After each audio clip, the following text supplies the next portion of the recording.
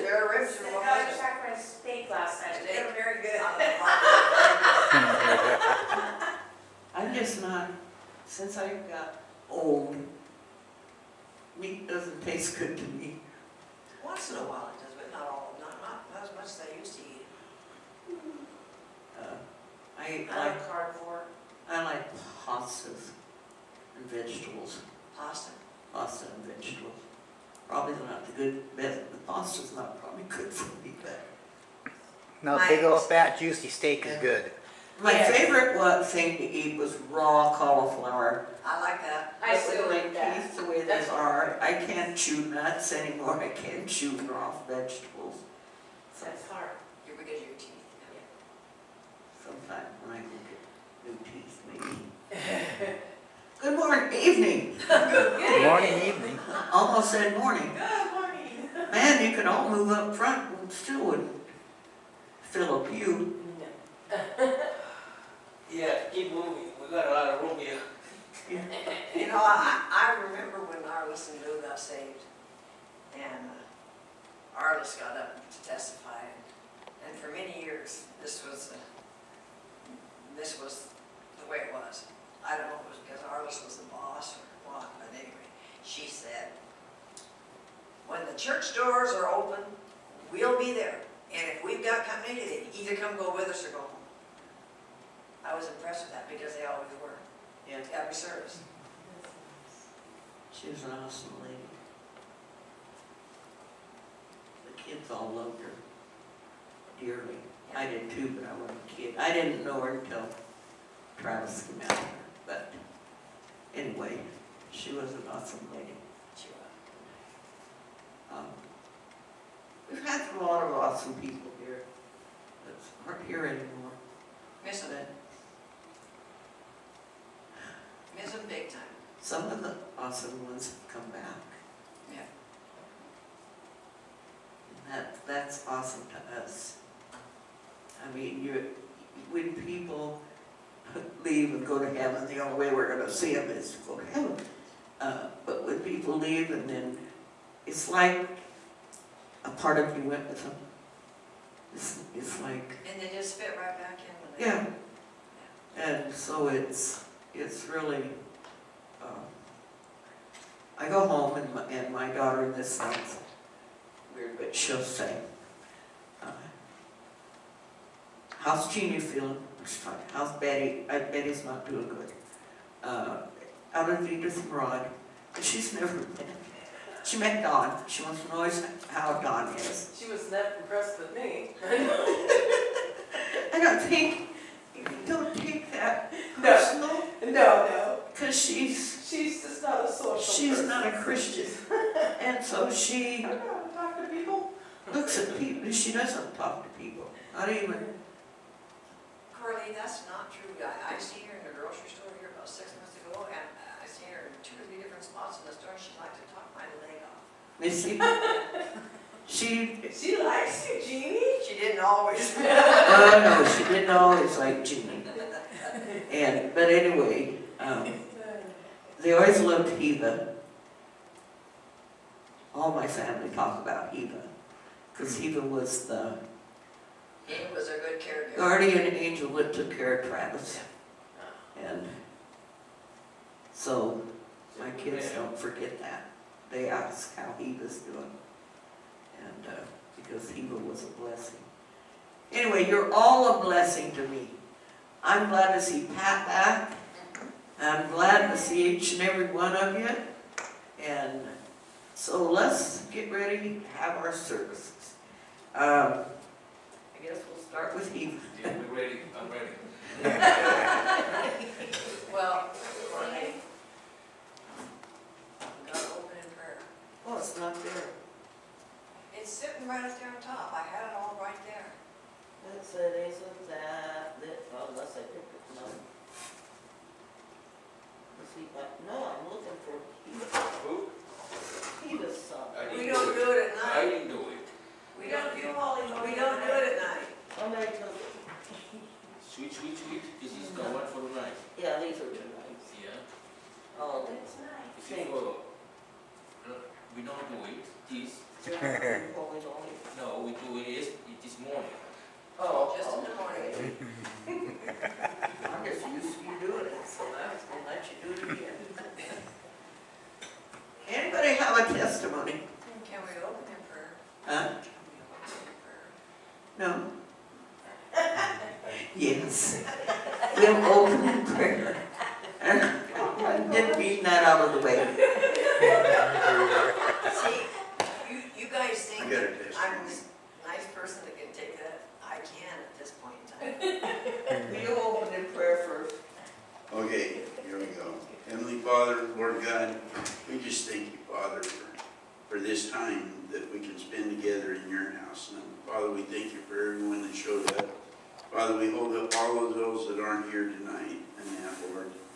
We don't know what they're doing, where they're at or whatever, but Lord, I just uh, right. pray that you bring remembrance to their mind Yes. and that they always think about you regardless of what they're doing, Lord. Look out after them in that, Lord. And for those of us here in your house tonight, Lord, I pray that you anoint us all with the Holy Spirit, Lord. And let this uh, night and evening be for to glorify you and help us to worship you, Father. And just give us all a love and touch of your Holy Spirit, Father. We love you, Father, in Jesus' name. Amen. All right, I went to a, a memorial yesterday to one of my friends and that, very Holy Ghost filled memorial and that. But this one friend of mine that passed away with cancer. Put that And to Huh? you. Put that closer You mean say you can't hear me? I can hear you.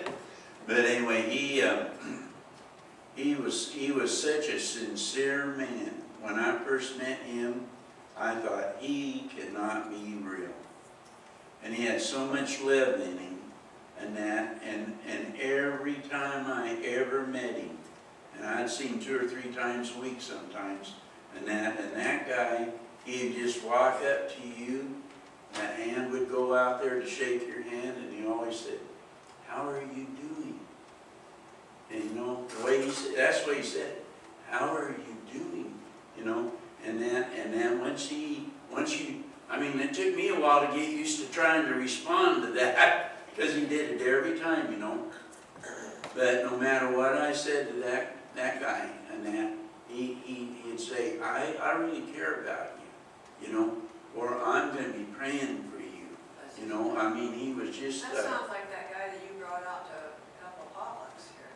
But I think he's been gone a long time already. Yeah, no, this is a, yeah, this is, he was just a wonderful friend, and, you know, um, the reason I mention him in that is because the Lord took him home, but you could just feel the presence of the Lord there with everybody there in memory of him, and that, it was awesome just to feel the Holy Spirit in that, so, very nice. David Stevens? Huh? Was that David Stevens? No, David Purcell. Yeah. you like she can sing bass tonight. That's a good testimony. I. Um, wow. Karen. I've had to feel sorry for uh, my daughter's caregiver. Her birthday was uh, yesterday, and she was going to this wedding downtown. I think. And uh, uh, Belinda was there, Belinda Hartman. Belinda over here. Belinda Hartman, you know the little kids, okay. Anyway, she called up crying because it was her birthday, her friend disinvited her because she didn't want people wishing her happy birthday on her wedding day. Oh, my. And she cried, and I thought, love. That's what God tells us to do is love. And think before you speak. Yeah, because um, if we don't love that, it's, now I wasn't really in love with that lady driving the car up here tonight, but, but, uh, Susan preached right accordingly this morning. yeah, she said, she said, when the, even when a car, the person driving the car does something, she said, I don't, oh no, you don't do that anymore. Well, I never did do that, But you grumbled. but, but I grumbled, because she waited until she got coming up Bunker Hill, and she was doing forty-five all the way from town, and waited until she got going up towards Bunker Hill, and I tried to pass her and she hit seventy. I went a little bit over seventy to get past her because then she slowed clear down, stayed way back. And and I grumbled. Uh, I just said, lady, what do you think you're doing? That's what I said. Anyway, That's road rage. Well, we're, we're here to. Celebrate the Lord. Yes. That's what we're here for tonight. Well, I, I want to say that I, I thoroughly, thoroughly enjoyed the service this morning. The thing I really thoroughly enjoyed, uh, you guys, I'm not being, I'm not pointing fingers, but we have one worshiper in our church, and you guys don't get to see it because it's Betty.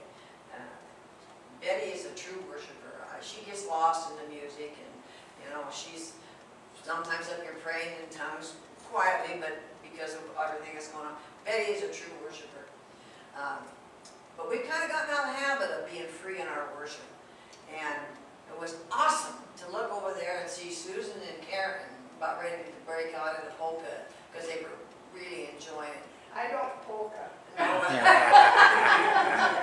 But you know what I'm saying? It was just awesome to have that freedom worship. You know, sometimes we worry about what the person sitting next to us would think if we, you know, well, it's just like God told me, don't worry about what they think, worry about what I think. I just shut my eyes. It was awesome. I enjoyed the service. It was an awesome, Yes. awesome message. It was, it was really good. It was something I really could understand. So, that was good. Well, I think, and no one has a testimony? Yeah, uh, Dawn, Actually, I just have a thank you to Daniel, because, uh, you know, even when he's mad at me and other people, he'll, he'll come rescue you, so I, I, I appreciate that. well, I'm thankful for Daniel too. Learn to check the water. He's, he's gotta have a lot of God in him to put up with you. He does. I'm sorry to say. It- it- no, it's true. It's true, 'cause my mom texted me, and says I texted her what I did, because I did it to her, her, her, her car. Um, She said, can I hit you from long distance or something? And, and I'm sure he's thought that many a times. Well, that's what God uses those things to teach us, you guys. Power of the Holy Ghost. Even if we're upset with somebody, we can still love them and, and help them. Amen. I know, I came home, my garage was empty, I don't know what they did, They cleaned it up? but, uh, They cleaned it up?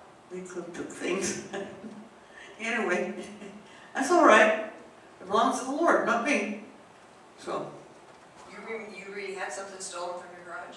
Huh? You had something stolen from your garage? Well, I walked, drove in my garage and there was, none of this stuff was there. I thought, where'd it go? Well, I guess they came and took it, but that's all right. It, you know, you can take everything I have, but you can't take Jesus. And that's where we stand right now. Okay, I think we'll take up offering first. That way it won't be.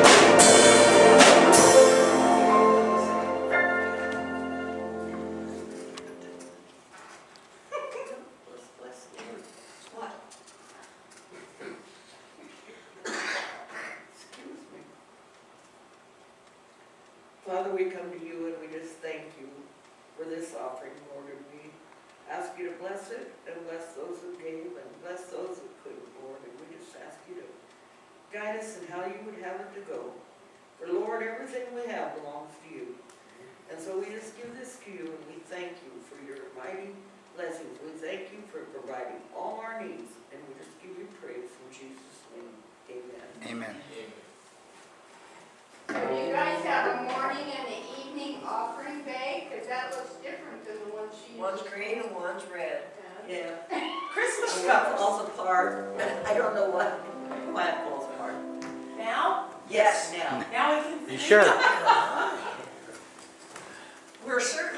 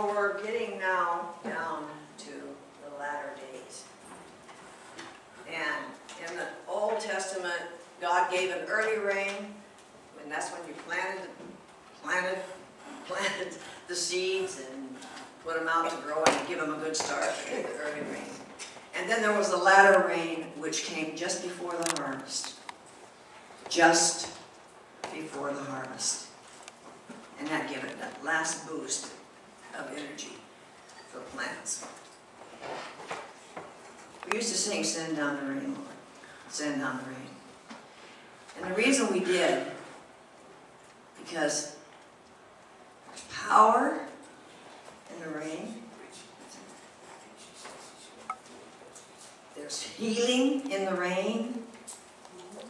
There's freedom in the rain. And God's going to start pouring down on us. I really believe He is. I, I, we've been, I, not just, been, uh, we've been going, I've been going through a really dry spell. I've been going through it for a long time, five years maybe. Um, and what I would do, and I said this this morning when I testified, what I would do is that I would just shut everything off. I wouldn't think. Now I'm going to tell you a little secret. If God can get us, if the enemy can get us and get our mind off God, he's got half the battle won. If we empty our minds and don't put God first, the enemy's going to put lots of things in here to, to, to really foul things up. A couple weeks ago, I, I don't even know if I, it was a vision or, I, I mean, I really don't know. But I was standing, looking out over the church. I don't know how many of you have been south, uh, but when you're coming, uh, like onto Las Vegas, you drive for miles and miles and miles, and you can see this haze laying over the city, the pollution. And while I was standing there looking, I could see a haze, not a bad haze, but a haze beginning to form in here. And God said,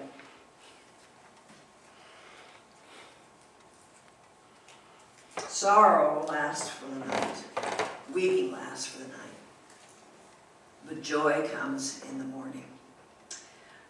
Because the light is what we need in our lives. We need God's light. We need to focus on Him, not on the people next to us. We need to focus on what He wants for our lives. We need to draw light and sustenance and healing from Him.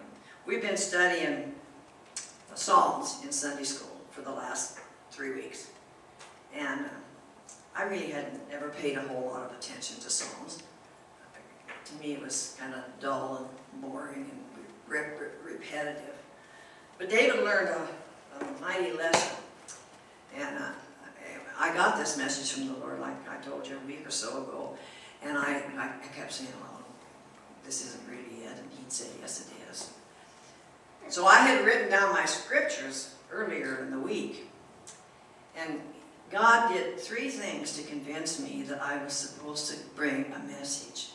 Um, and I laid in bed all night long and, and, did it over and over and over and over and, thought all of the things I was going to say. Well, I have no idea what I'm going to say. God told me to just open your mouth and I'll give you the words. But in his Psalms, David would do one thing first. My Sunday school girl is here. What would he do first? Repent. He would repent. And he was deadly serious when he repented. And then he asked God to do some specific things for him. And then he said, I'll teach the people. That was the third thing that he did after he repented and, and recommitted his life. But David was wise. He would go to get refillings.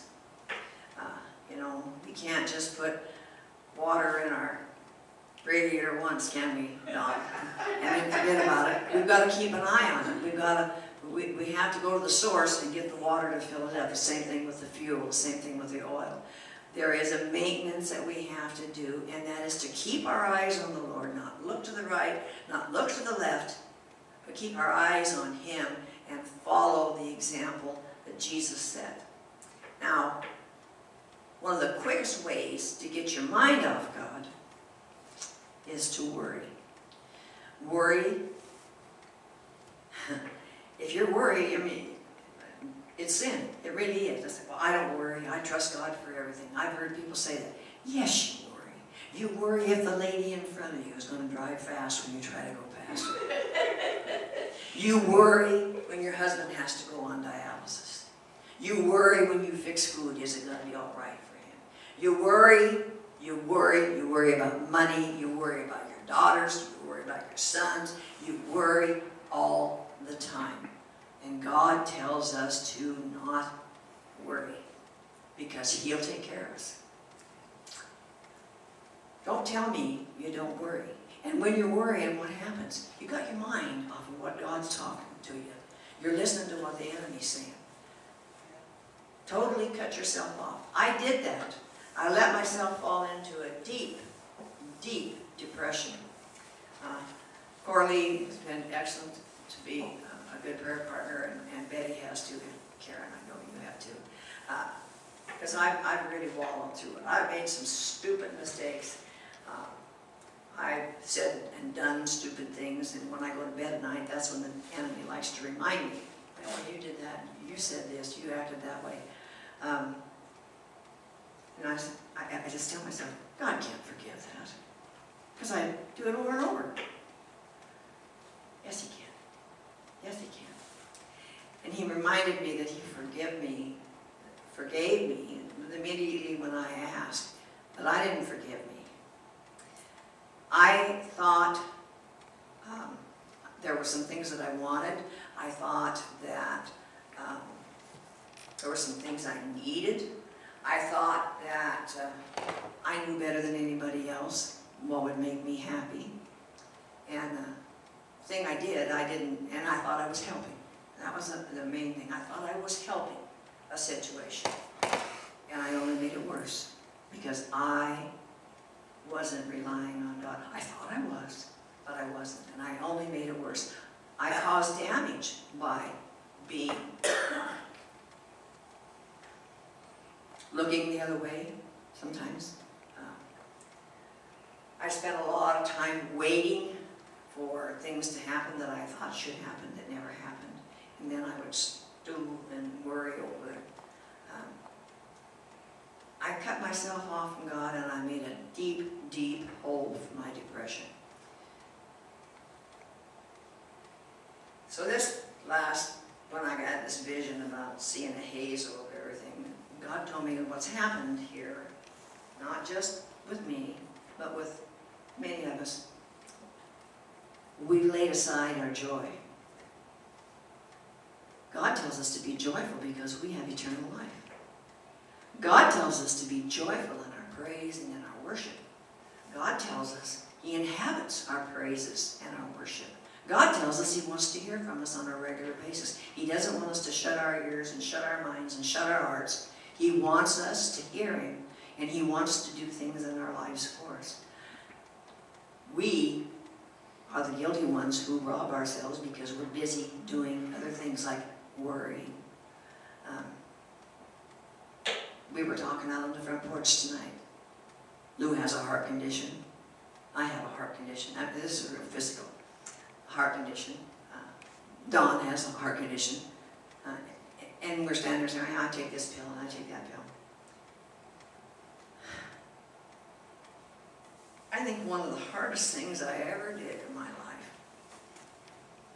and I, may very well have started in me at that point in time, it was the night I looked over. I was sitting at the dining room table in the parsonage. And Travis was in his chair, looked like he was asleep, but he'd already gone to be with the Lord. And I remember, you know, I have the power to go over there in the name of Jesus and tell him to get up. And I was afraid to do it. I sit here in church sometimes and I hear the message of tongues, and I have it, and I'm afraid to do it. Because, number one, I know not everybody approves of me, and not everybody likes the way I do things, and not everybody likes the way I am pushy. Um, so I tell myself, just keep your mouth shut. Just, you know, sit over there. And... There was a time when I would fight a bobcat, and I told you all that before, but that's gone. God's taken that out of me, and I thank Him for that. But in the meantime, I allowed the oil in my lamp to get low.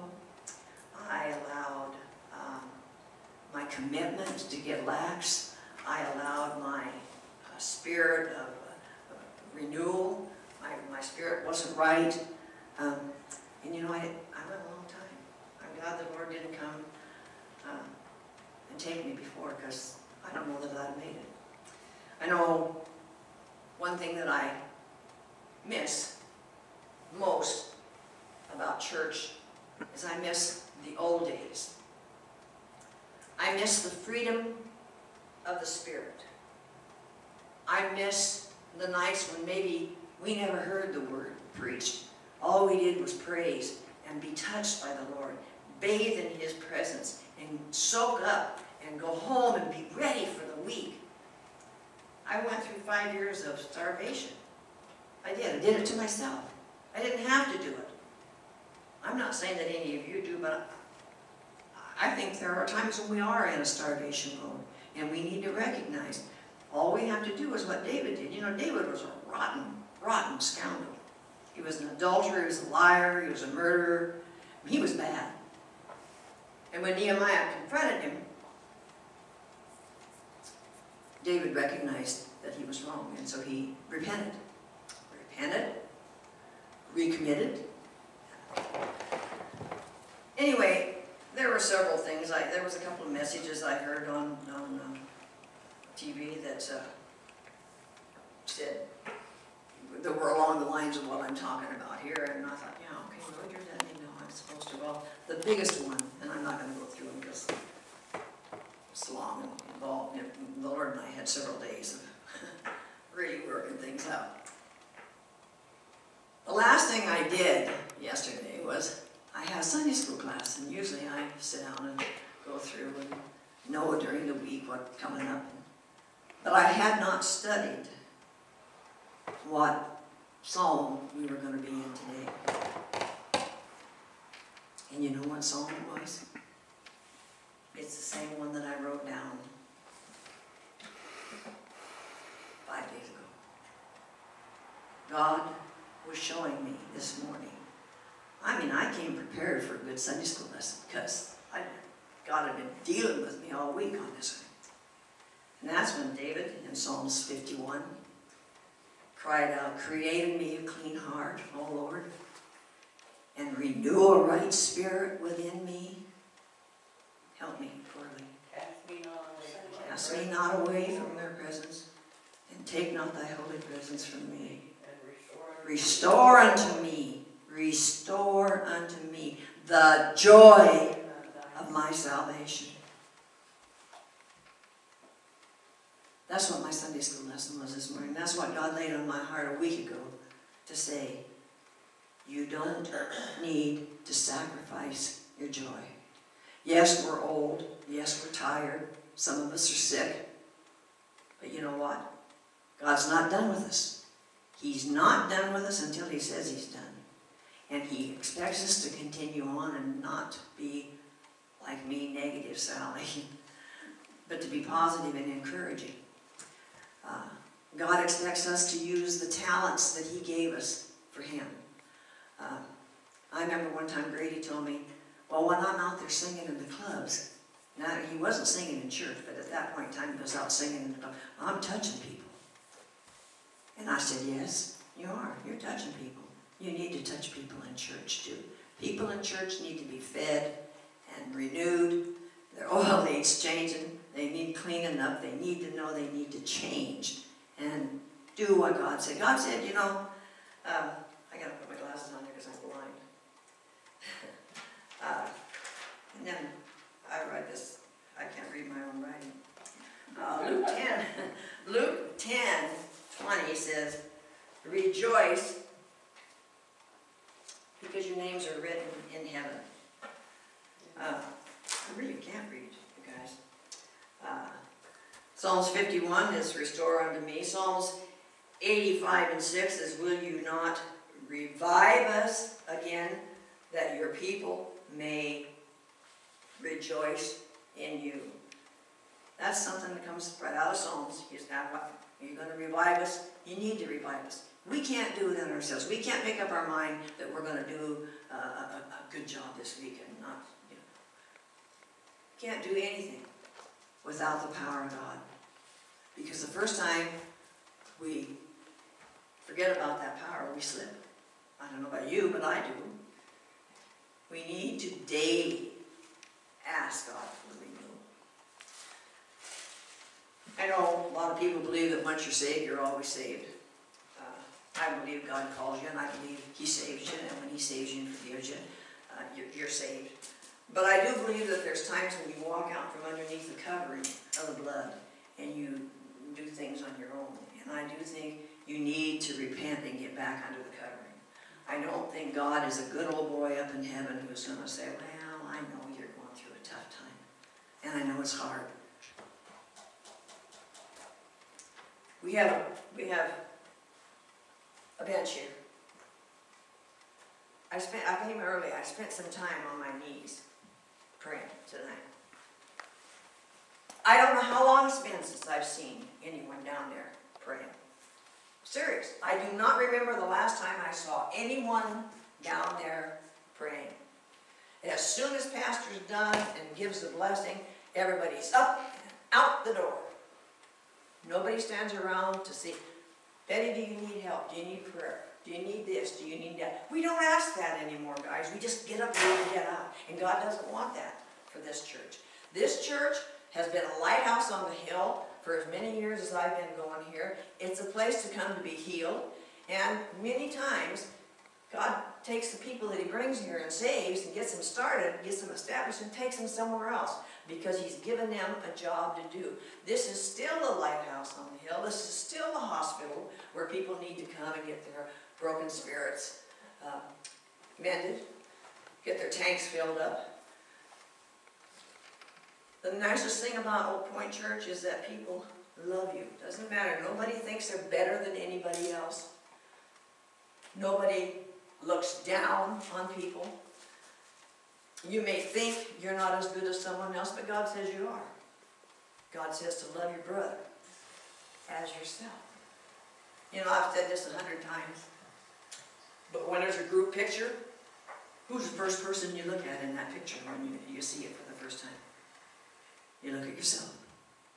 You look at yourself. Because that's your center. God says He's the center. I came in this morning and I said to Edith, well, I won't tell you what I said. It was along the lines of, she's back, she's back. Um, I just thought, Edith, can you see it? Can you feel it? Can you tell? Yes, can. There's something that God did for me this week that He hasn't done in a long, long, long time. And I'm thinking that some of you out there haven't had something special in a long, long, long time. I believe God expects us to repent often.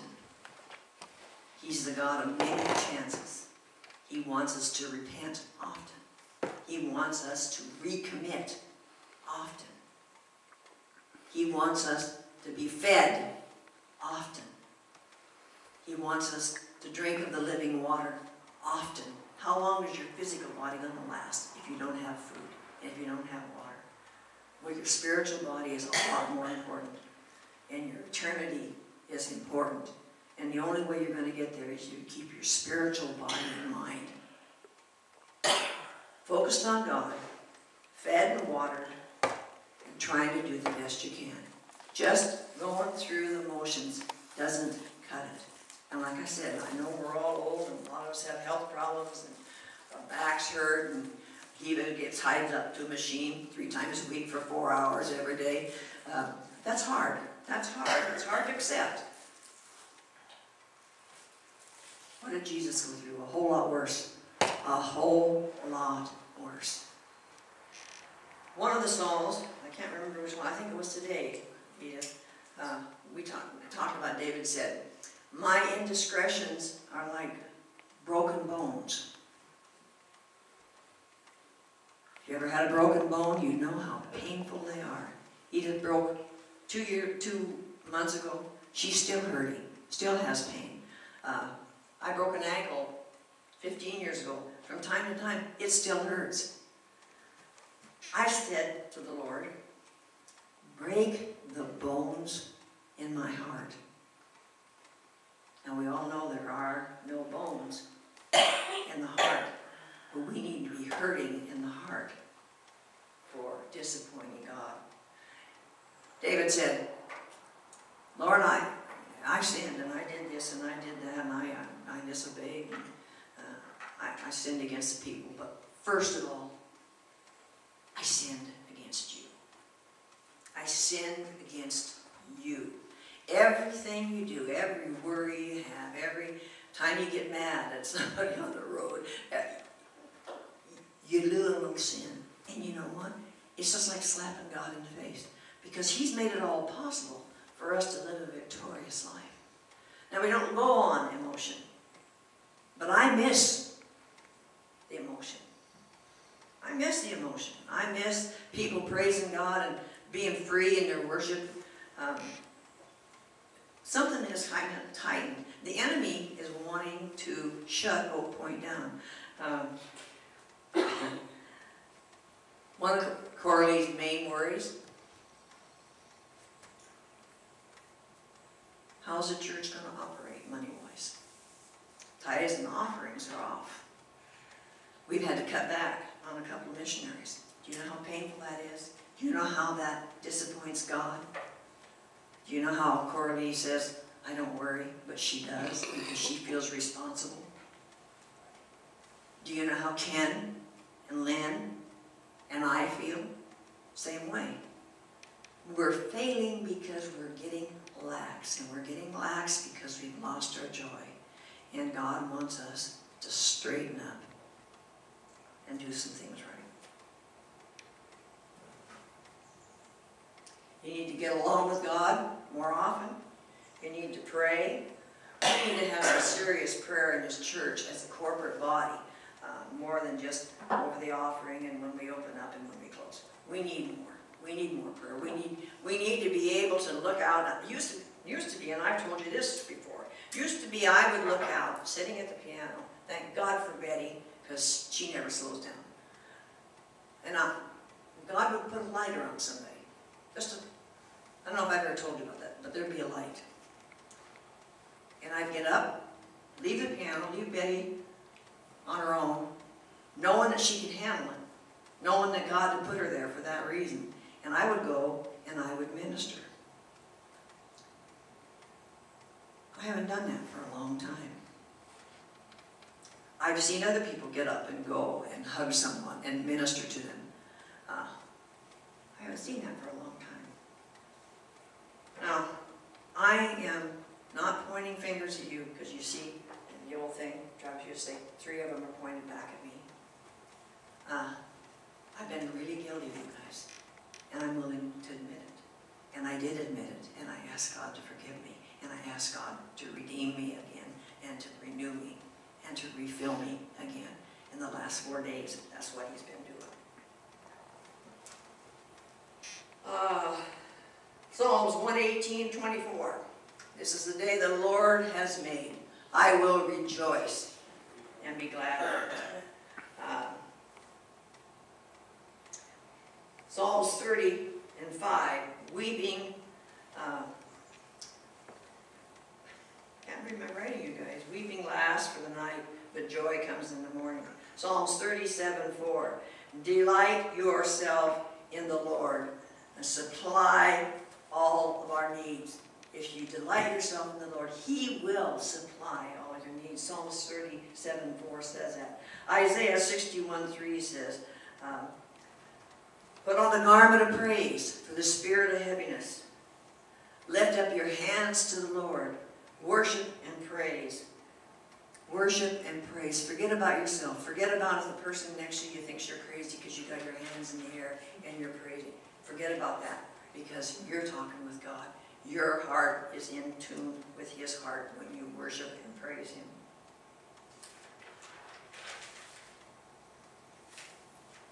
Biggest reason we have to rejoice is our salvation. The next biggest reason we have, and maybe even the most important, is He loves us. Regardless of how lazy and slothful and critical we get, you know, we're big time critics of one another. Uh, commented on, and I thought about this when I got here today. Coralie commented on, I don't know how to say this, that I smile more, especially if I go back in the office and talk with Pastor. Well, you want to know why? Because Pastor's telling me to sing a new, a new song. Praise, worship Him, be happy, be glad. He's encouraging me. And when I come out here, I have a smile on my face because I feel like I matter. Well, God says you do matter. And God says you're going to start smiling more and you're going to start encouraging more and you're going to start telling people, sing, sing a new song. Now, Edith, that wasn't anything like Sunday school, was it? No. Like I say, I laid awake. I didn't go to sleep until after three last night, and I was awake at six this morning. So I didn't have very much rest. And the whole time that I was saying, oh, I'm going to say this, and I'm going to tell that, and I'm going to share this. And one of the one of the things I will share with you is a guy named Rodney, whatever it is, he's Great Awakenings on Hillsong. I don't know if you're, he's a guy from, actually from Africa, but he lives here in the United States, and he said he came from Africa to be a missionary in the United States. But he was telling a story, and then this really happened. I, I had to go back and listen. Um, this happened supernaturally. Um, there was this missionary, is this missionary, up in the Arctic Circle in Siberia. And uh, it's long distances between villages and stuff. And God showed him, I guess on Google it said, that there was this village way out on the edge of the tundra, way out on the water. Nobody ever went there, or any roads there. No way to get there, no roads. I mean, we're talking going over the tundra. Uh, you, it's impossible to do. Um, the only way you could do is that I guess that they flew in things or he went by boat because they were a fishing village. So he says to his wife, said to his wife one day, God says we need to go here. And she said, well, how are we going to get there? So he said, God, how are we going to get there? Now we're talking Siberia. Somehow God provided them with an old Russian tank. And they set out, they were in their 60s, they set out across the tundra, and I don't know how many hours, I mean days, a couple of days, sitting in this cramped tank, which probably they were freezing to death. But finally they got to the village. And when they did, the head man came out, he was kind of confused. He said, what are you doing here? And the preacher said, well, God told me to come here and to minister to you people. And the head man said, what took you so long? When he said, what took you so long, it echoed in my ears, in my room. I, and I went back and listened, and it, it didn't echo. But God said to me, what took you so long? He said they'd been praying, saying, God, if you're out there, send somebody. We need to hear your word. What took you so long? You know, we don't have much time left. So, what God has laid on my heart to give to you. You need to get your joy back in shape. You know, when you get saved, God gives you a measure of faith. Uh, and He gives you this and He gives you that. But you know, things happen as they go along and your faith increases, your patience increases. You gotta feed it. You gotta feed it. And the only place you can feed it is God is the source of our food and our liquid. Spiritually and physically. But spiritually, we need to pay more attention to the spiritual man. Father, I just come to you. And I didn't say any of the things that I thought I was going to say. I trust, Father, that I, I pray, I, I pray, Father, that I, I said the things that you wanted me to say, and that I, that I was able to show I'm sincere. Lord, I, I want a new renewal. I want a right spirit back in me. I want all of those things, Lord. I want to be free to worship in the Spirit. I want to be free, Lord, to do what you want me to do. I want that for each and every one that's in here, Father God. And I ask you, Lord, challenge their hearts and minds. And if there's anything between you whoever's in here that needs to hear this, Lord, I ask you to just begin to work on that thing. I ask you, Father, to bless each one. I ask you, Father, to increase each one. I ask you, Father, to do what you promised to do. Fill us, Lord, completely till we are absolutely tamped down and running over. We can't run on empty. We've got to keep the tanks full. In Jesus' name. Yeti?